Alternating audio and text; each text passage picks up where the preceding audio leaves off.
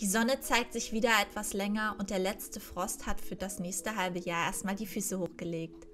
Dass du auf dieses Video geklickt hast, sagt mir, dass es dir auch schon richtig in den Fingern kribbelt und du es kaum erwarten kannst, im Garten loszulegen.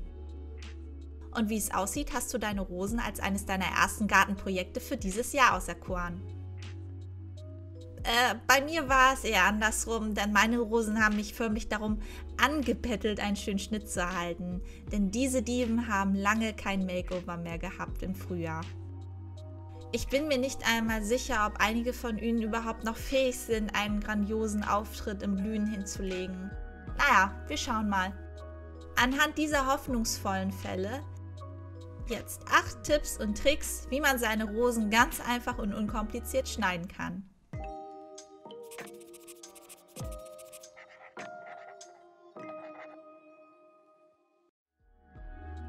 Tipp Nummer 1. Die richtige Jahreszeit. Der Rückschnitt erfolgt im Frühjahr, genauer gesagt, nachdem es keinen Frost mehr gibt. Dieses sollte Mitte bis Ende März der Fall sein, in manchen Regionen aber auch etwas später. Mikes Tipp. Die Rosen schneidet man, wenn die Forsythien in voller Blüte sind.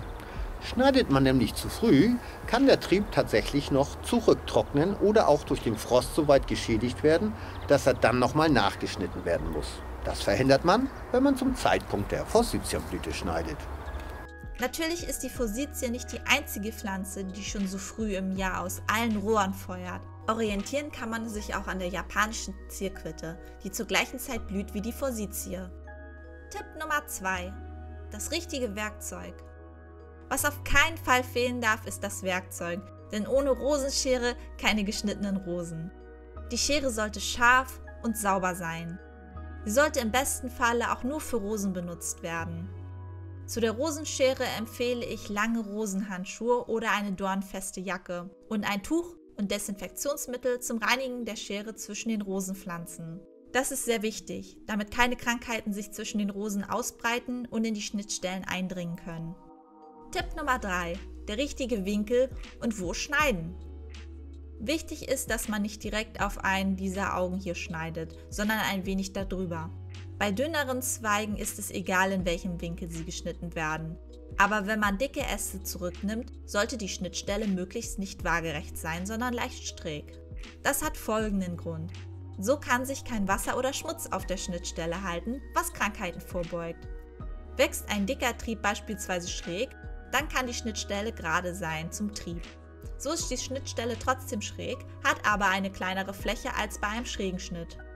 Von einer zu starken Schräge raten wir jedoch ab, da sich sonst auch die Schnittstelle vergrößert und so auch die Wunde der Pflanze. Tipp Nummer 4. Tote, kranke und kaputte Äste entfernen. Wenn du zum ersten Mal deine Rosen oder eine Rose schneidest, scheint alles ganz kompliziert zu sein und die Informationen können einem wahrlich über den Kopf wachsen. Jedenfalls ging es mir so, als ich das erste Mal meine Rosen runterschneiden sollte. Am meisten hat mir da tatsächlich dieser Tipp hier geholfen.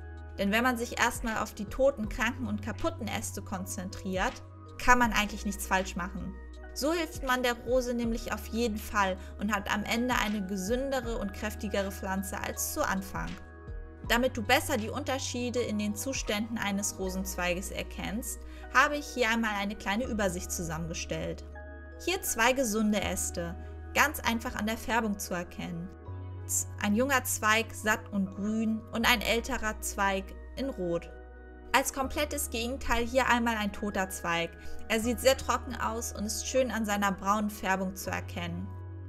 Tote Zweige können aber auch eine schwarze bis dunkelbraune Färbung haben, gelegentlich auch grau. Wenn du dir nicht sicher bist, kannst du hier die Kratztechnik anwenden. Einfach ein wenig von der Rinde abkratzen. Sieht es darunter noch frisch aus, ist der Ast noch voller Leben. Hier ein Bild eines kaputten Astes und einem mit abgeblätterter Rinde. Auch diesen solltest du entfernen. Rosenkrankheiten gibt es sehr viele und nicht immer lassen sie sich bereits am Zweig erkennen. Aber wenn ein Zweig ein ungewöhnliches Muster oder Färbung aufweist, zum Beispiel ganz viele kleine Punkte, kann es sich dabei um eine Krankheit handeln. Wenn ihr euch da aber nicht sicher seid, könnt ihr auch eine Suchmaschine im Internet oder einen Fachmenschen zu Rate ziehen. Tipp Nummer 5. Die richtige Form.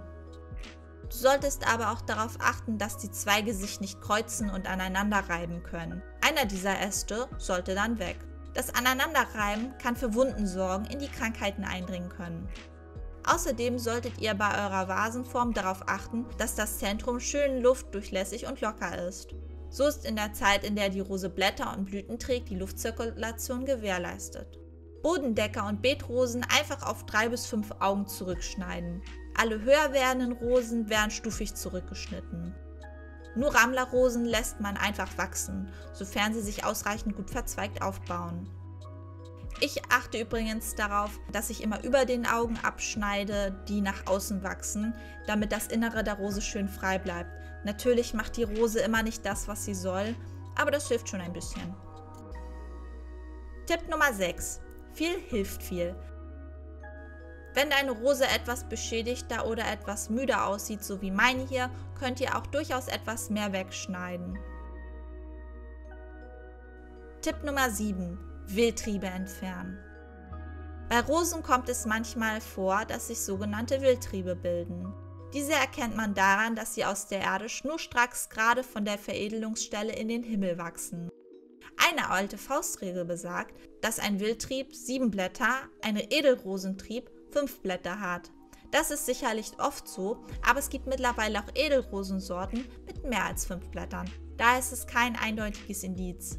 Dennoch weist der Wildtrieb stets optische Unterschiede zu den veredelten Trieben auf, sei es in Farbe, Anzahl der Formen oder der Blätter.